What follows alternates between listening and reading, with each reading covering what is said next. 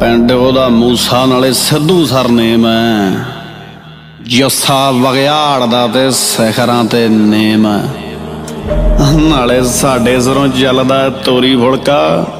Aunty ਸਾਲੇ ਬਿਨਾ ਗੱਲੋਂ ਕਰਦੇ ਬਲੇਮ ਆ ਵਾਹੀ ਅੱਖਰਾਂ ਦੀ ਕਰੇ ਪਾਣੀ ਅਣਖਾਂ ਦਾ ਲਾਉਂਦਾ ਆ ਨਿਕਲਿਆ ਖੇਤਾਂ ਵਿੱਚੋਂ ਖੂੰਜੇ ਲਾਈ ਗੇਮ ਆ ਨਾਲੇ 911 ਕੱਲਾ ਟਰੈਕਟਰ ਨਾ ਜਾਣੀ ਮਿੱਠੀਏ।